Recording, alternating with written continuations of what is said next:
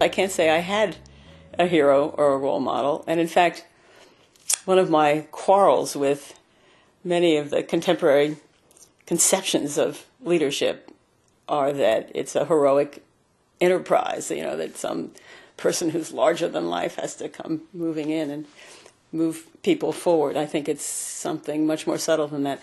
Um, people I admired, mostly, I think, writers when I was young. I, I had images, fantasies of becoming a writer myself. So I loved Eudora Welty. I met her.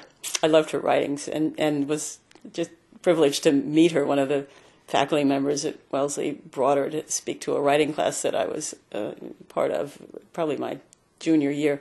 And um, in her her own memoir, One Writer's Beginning, she ends with the comment, "All serious daring starts from within," and uh, I've always loved that because I think that's true.